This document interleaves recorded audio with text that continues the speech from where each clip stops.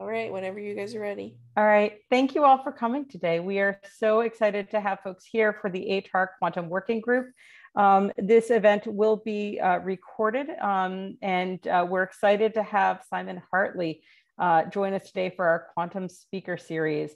Uh, Simon is the US Sales and Business Development uh, for Cambridge Quantum. Uh, it is Quantinuum, which unites Cambridge Quantum software with Honeywell's quantum solutions. So we're really excited to have Simon come and talk to us about the foundations of zero trust architecture and the key for hardening verified quantum physics. So with that, I will turn it over to Simon.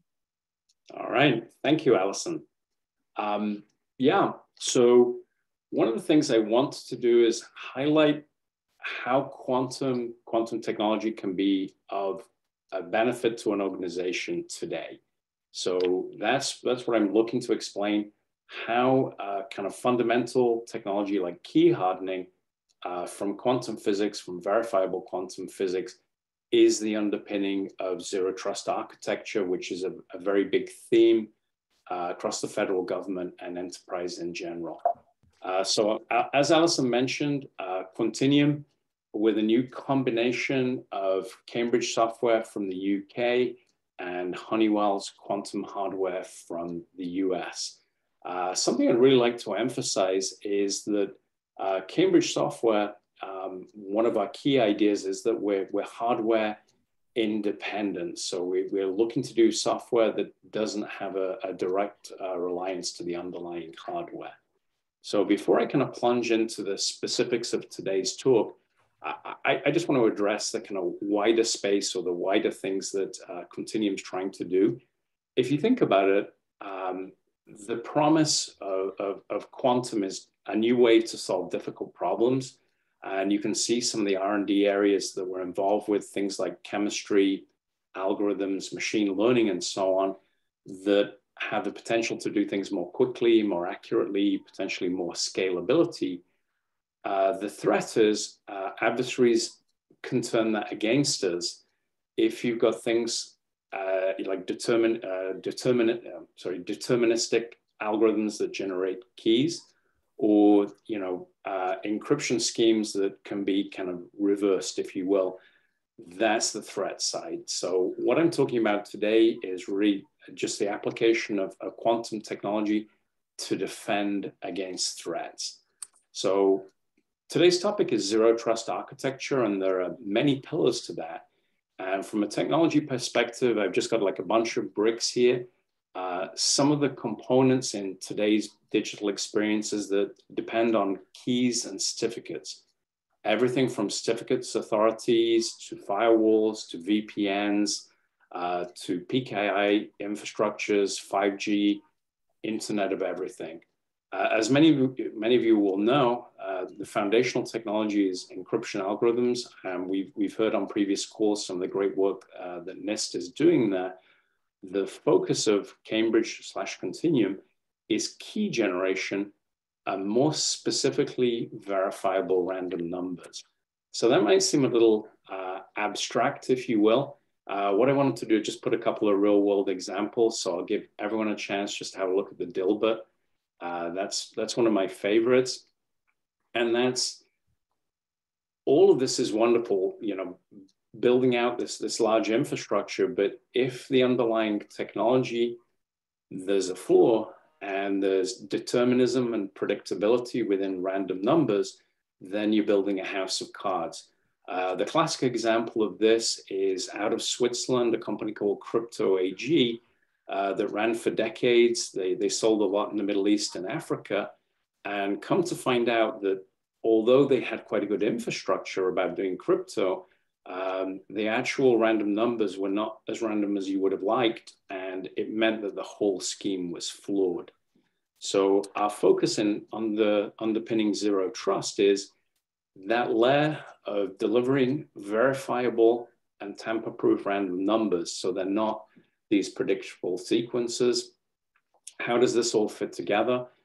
With better random numbers, you end up with stronger keys, and then those stronger keys can underpin you know, traditional algorithms, things like RSA you see in web browsers, AES you see a lot around the federal government, things like elliptical curve.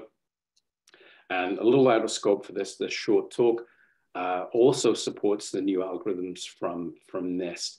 So within Zero Trust, technically this is the, the pillars of uh, network security and data security, but ultimately we're doing this in order to protect users, protect devices, and protect networks.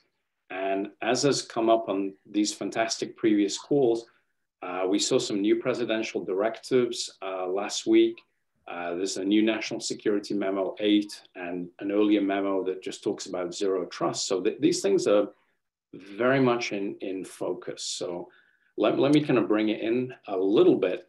So we're arguing cryptographic keys are the foundation of you know, the stack of security in general. And there's three aspects to that. There's algorithms, which we've talked about. So we're agnostic to algorithms, whether classical or post-quantum. There's key management, where you'll see you know, vendors, people like uh, SafeNet and, and trust and others, uh, very, very strong in management. And of course, there are many schemes uh, around things like key distribution, uh, people manipulating keys in various ways to do obfuscation. Again, we're agnostic to that. So if you think of what we're doing, this is really defense in depth. and we're focusing in key generation. Uh, I'll talk about how it fits into the big picture and then kind of duck back in, into, the, in, in, into the details.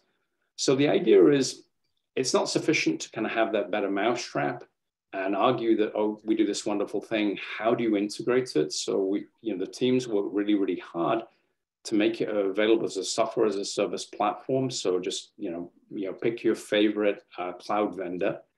Uh, we have a hybrid solution, which is kind of partially on-site, partially off-site, and completely on-site. So these hardened keys, the benefit of these hardened keys feeds directly into encryption, into IoT systems, blockchain, watermarking, PKI, and so on.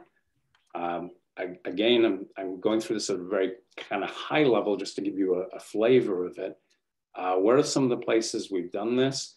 I mentioned folks who are doing uh, things like key management. We've worked with Thales and their HSMs. Uh, we've worked with uh, folks doing PKI infrastructure. Uh, some of the more famous ones, and these are all just the public references, things like securing the comms to the space station. And just last week, we deployed uh, with a company called PureVPN, where we were able to kind of bolt on these capabilities. And I think they have something like 3 million endpoints. So just to kind of summarize, what are we trying to do? Um, true randomness coming from a verifiable quantum source uh, strong uh, emphasis on device independence and also making it kind of very easy to do. So that's that's kind of the, the high level of how we taking you know some of the work from the many PhDs, um, making it in something valuable for an organization, and you know also make it easy to implement. So into the details, uh, Allison, I think you you asked about this. Uh, the keys. What what's what's what are the characteristics of a good key?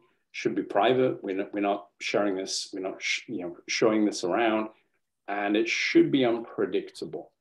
Uh, obviously, the problem we're trying to address, uh, there have been some papers, this is one of the, the recent ones, 2019, you know, as many as one in a couple of hundred of keys that are just out there. Think about people generating, you know, they're in a data center full of Ubuntu or Windows or Red Hat, the entropy that's available, the randomness just isn't sufficient and it, it's leading to the potential for predictability. Uh, just surveying a little bit the industry, uh, what do you see? Well, von Neumann had mentioned that there's no such thing as a true random number. It's really about an algorithm. So when you think about software and you're just running like a RAND function, what you get back, especially if you call it just the once, you might be getting a very, very weak seed. Uh, folks doing things like HSMs, folks are doing this in hardware, you kind of get better results. And we're obviously not the first people to have done um, quantum random number generation. What we're trying to do is, you know, verification and tamper proof, like what is the best possible version at this date of that. So one of the things we, we looked at, and this is a, an independent scientific paper, it's looking at one of the earlier versions uh, of quantum random numbers uh, generation. And what we saw is early on, uh, there was a lot of promise, but uh, as new surveys, new, new test results have come in, it wasn't as random as was predicted. And some of this is really just the physics of it. You know, what are the characteristics of the mirror, the laser beam, the temperature, pressure, all, all these kinds of factors that in some senses, it was a little bit like the early, you know, the early mainframe computers. Um, when I came up as a small child, you, you had to write everything in, in assembler to, to write 8-bit games. It, there's a lot of dependency on hardware. So our PhDs were looking at, well, how do you get this benefit of quantum randomness with the least dependency on the device possible? So Obviously, the far right-hand side where there's no dependency at all would be the ideal.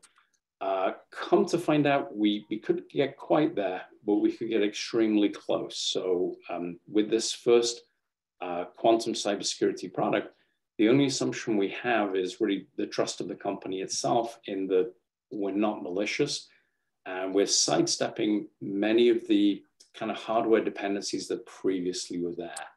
So um, again, these are, you know, I'm flying over these at a, a high level. These are, you know, open to inspection. We have patents and, and, and so on in this area. Uh, this is a, a, comparison with the hardware, a, a so-called TRNG or a true random number generator. Just to explain I know this is a little bit of an eye chart, uh, but on the right-hand side, you could interpret this with the kind of best of just classical random numbers that you would see, say, in, in a, a, government organization or, or a bank, an international bank. Um, every 10 bits you're getting that you're expecting to be random. If I look at this for the entropy, actually five of them are bad. What Quantum Origin has worked to, to deliver as this, this kind of first use case is that it's as close to one as it can be. It's it's not absolutely one, but it's extremely close. There's, there's a number there, I think it's two to the minus 128. So it's just extremely close. And so the innovation here is not that we're the first people to come up with a quantum random number generator. No, the, the people who've done this before. I, I would say it, it's more the business process and how it's being packaged that we begin with a similar, um, you know, laser system, etc., and we verify that the phenomena that we're measuring are truly quantum, that they're truly random. So we go through a Bell test, which says, is this random? Are we beginning with a quantum process to kind of avoid this, you know, this idea of you got a whole bunch of, of data coming in, but you're not really sure whether it is verifying it. And then we, we have this thing called a randomness extractor, um, from an architectural point, not necessarily from a, a, physics point, but kind of a real world point, what we typically do is look at an organization and what are you already doing? What's your existing source of randomness? What's your existing uh, process? And we combine the two. And that's interesting because then what you end up with is, is a hybrid approach where it's the classical randomness, whatever was previously there, that was previously approved and everyone's familiar with, plus quantum. And in a sense there, you have a fail-safe. If the classical were to be cracked, then you still have the quantum. If for some reason there was a flaw in the quantum and that were to be cracked, you still have the other. So kind of a nice idea of encapsulation. Um, flying through these, I, I, I, I, I, know. Uh, and I'll take some questions at the end. I'm just trying to move this and um, I think we agree 15, 20 minutes. So how do you deploy that? You know, I'm a CISO, I'm an architect, I'm a CTO. How would you do that? So again, some of the innovation is a very standard API that you can consume keys via, via the cloud. Um, we're working on an on-premise version, which for some customers, they just want custody of everything. So that, that will be an option. But what I think is interesting is an embedded option where the entropy, the source of entropy coming from the US is consumed by the organization and then the organization itself generates keys. So they have a chain of custody on, on the keys and the handling. That, that will be typical with something like, um, like an HSM. So just to kind of wrap this up, and I know I've covered a lot of ground, um, we're not trying to solve everything. You know, for example, in algorithms, that you could if if the output here the desire was a 2048 bit RSA key, then that's the output. If it were AES 256, then that's the output. Were and I, we're very respectfully waiting on the conclusions from uh, NIST. Were that say Saber or one of the other other uh, alternatives, then that would be that would be the output. So working again, um, an idea of a kind of hybrid, working with the, either the classical or the, the post-quantum or potentially both uh, fitting in within that. So really what I hope that I've shown is how we're taking today's, um, you know, quantum technology and extracting from that something that's truly useful and fitting it in with something like, um, you know, the zero trust architecture. And I would say within the zero trust architecture, if I go back five, ten years, a lot of this was done, uh, used to be called the IDAM, Identity and Access Management. And people would set up uh, systems where, you know, they do a good job in the starting state, but the component that was missing was this kind of idea of verifying and checking, you know, this person that connected to me, yes, that's Simon, but did we see Simon? You know, this minute Simon was in New York, but a minute later, suddenly he's showing up in LA. There's something anomalous there. What we've done is packaged up that, that quantum technology, and we've also added this idea of it being verifiable and kind of implicitly anti-tamper. So anti-tamper is like a little hark back to that, um, you know, the, the crypto AG company that I mentioned where everything appeared wonderful, but either something had broken or something wasn't operating right or worse, had been tampered with. And kind of reflecting the philosophy of Cambridge, Cambridge kind of looks at, um, there's obviously huge research going around the world. We're not saying that all the wins, all the ideas are going to come from us. We think it's going to be much wider than that. Actually, we think there might be, um, you know, specific machines, even for specific classes of problems. So we, we're trying to be a little bit more, um, well, trying to be agnostic and not write things in a way, uh, something I saw at the beginning of my career where, you know, some people would do big endian, other people would do little endian, where there's an unnecessary hard coding down into the code and to be uh, flexible in getting to that. So I flung through those slides in I think about 15, 15 minutes. So um, hopefully you guys were able to take that in and I'm very open to answering questions. Thank you so much, Simon. I appreciate it, and I did like the deep dive, um, and and did follow along. I'll open it up for folks um, on the call. Are there any questions for Simon? If not, I'll be the first one to ask. So uh, you mentioned in the beginning the um, the quantum EO that was just released at the White House, and the different government agencies now have to migrate um, over to something. And, and some of those timelines in the executive order were um, quite quick, you know, within 90 days or within 120 days. Um, given the work that you guys are doing in this space, you know, from a, a CISO's perspective, from an agency, and I know you came from the agencies, how long is it going to take to migrate over to these type of post quantum or how how long would it be to to work with you all? I, would love to know some timelines and stuff. Oh um, okay um, from our perspective from cambridge's perspective we could go from today let's say three four weeks and you would have or an agency would have a working poc or a pilot for you know, some reasonable um, number of people, um, let's say a thousand people. So from our side, we can go quite quickly. I think you know, from an, an organization side, you you've got you know they've got to get the authorizations, you've got to get the funding, et cetera, et cetera. So there are a number of bureaucratic steps. Um, you certainly no one's going to convert the whole organization overnight or in the next you know 30 mm-hmm. days. That's not unre- that's not reasonable. But we, we are able to show how this is, is achievable in a very small time frame and we're getting the staff trained up and you know you know different aspects of it it's it's getting input for policy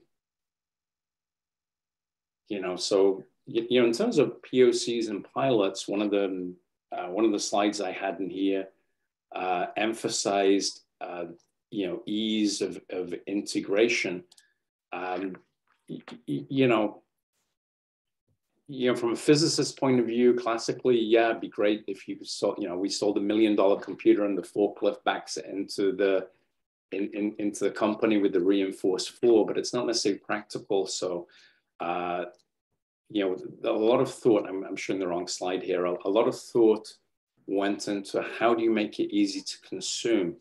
Uh, I'll give you an example. I used to be at Red Hat, and know, Red Hat was a great story of Linux, and today everyone's kind of on board with it but it used to be a swine to use Linux. It used to be everything was at the command line. You probably had to come out of MIT, Carnegie Mellon, everyone had to be a PhD. And to the extent that they made it just very easy to solve standard problems, and you had a wizard, and you could run it on Intel, you could run it on AMD, it would run on Dell, it would run on HP, it would talk to Oracle that's kind of what we're doing. It's, you know, yes, it's the physics, but it's also how, how do you consume it? Yeah, this is uh, Bob Mariner. I have a question for you. How, how are you offering your as a service model? How, how is that uh, practically being consumed by agencies or private sector right now?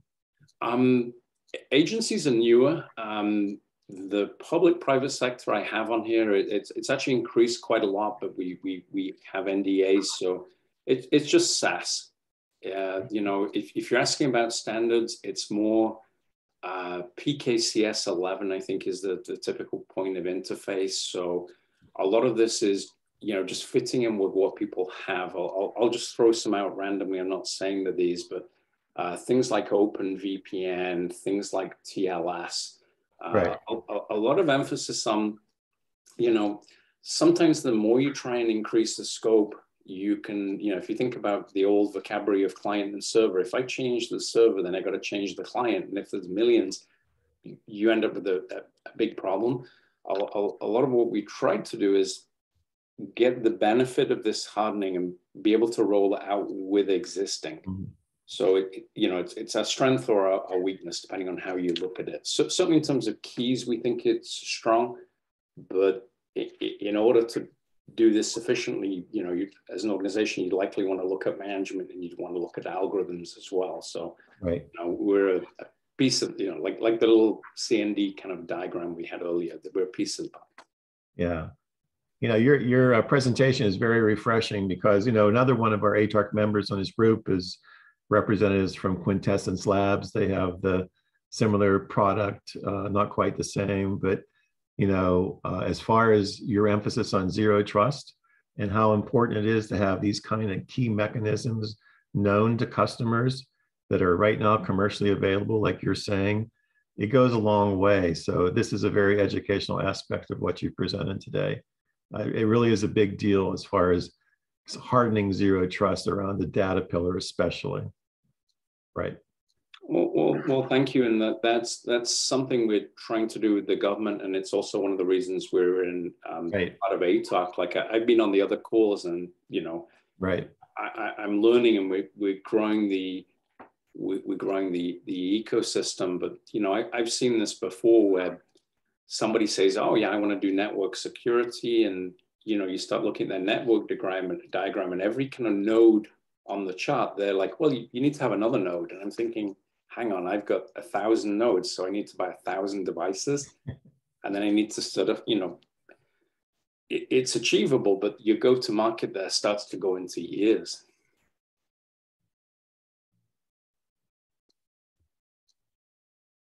Thank you so much, Simon. Are there, is there another question?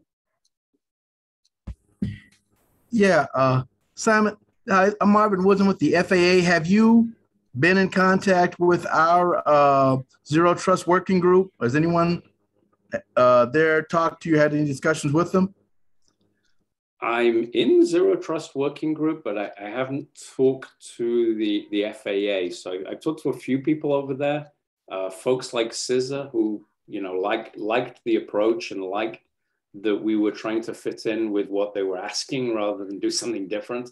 But no, I'd, I'd be very happy to follow up with them. It, you know, as a pilot myself, I, I, I really want that system to be secure. Okay. Uh, if you could put your contact in the chat or just have it forwarded uh, to me that uh, Marvin Woods, marvin.woods at faa.gov, and I'll get it to, um, I'll get that to our um, Zero Trust Working Group. Uh, absolutely, Marvin. I'd be happy to follow follow up on that. Okay, thanks. We have about two minutes left. Um, I, first of all, I want to thank Simon again for the insightful conversation today. Um, we are really excited um, to have you as part of our speaker series. And again, uh, we are trying to broaden the speaker series out. So um, if you have other folks inside of your networks that you think will be able to share um, some insight into work they're doing as it relates to quantum, um, we will be really excited uh, to have them come. We are excited to have Barbara Goldstein, who's coming up um, for a future one. She's going to talk about quantum technology readiness. Um, and that one's actually going to be a little bit longer. We're going to have a 45 minute discussion. Uh, and then we also have GE Research talking about how they're using quantum in a variety of aspects, both from en uh, energy as well as asset management. Um, and we're very excited to hear. Um, unfortunately, Lily is not with us today. Uh, when NIST is actually able to announce and make their announcement on their post quantum cryptography, I'm excited to have her come and her group come to talk a little bit more. And I'm sure Simon will be uh, right there as well. Um, but again, thank you everybody for participating. Again, thank you, Simon uh, from Cambridge Quantum. We really appreciate your time today. Uh, and thank you, great questions, and really appreciate the group. Um, I'm, I'm going to invite everyone to this. I think I think this is very helpful. Yes, thank you. Good job. Please, please do. Thanks, everybody. Have a great